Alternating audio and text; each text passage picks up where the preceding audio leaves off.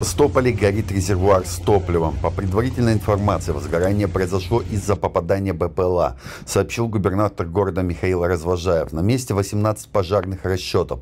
Ожидается прибытие пожарного поезда. Пожару присвоен четвертый ранг, самый сложный из всех возможных. Так как объем топлива большой, то потребуется время на локализацию возгорания. Написал он в телеграм-канале. К счастью, пострадавших нет. Эвакуации в Севастополе не будет. Гражданским объектам ничего не угрожает власти. Возгорания на территории порта гражданских объектов рядом нет, сообщили нам в пресс-службе губернатора. Такую информацию публикуют телеграм-каналы и РИА Новости. Страшные, конечно, кадры. Это просто жутко, что происходит. Как так он туда долетел, почему так произошло. Мы всю эту информацию очень ждем из официальных источников. Надеюсь, нам все объяснят и разъяснят. Друзья, будьте бдительны, берегите себя и своих близких.